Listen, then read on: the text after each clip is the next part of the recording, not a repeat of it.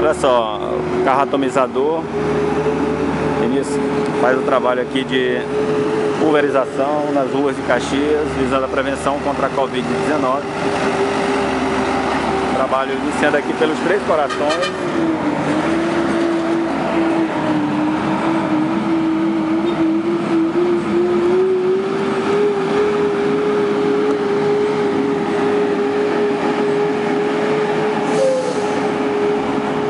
A ideia é intensificar o trabalho de prevenção contra a Covid-19 a partir de agora, diante dos casos que, diante da contaminação que tem aumentado no município de Caxias. Então o trabalho da prefeitura visa exatamente essa prevenção. E aqui é, esse líquido ele é o hipoclorito de cálcio que realiza aí a imunização com maior eficácia.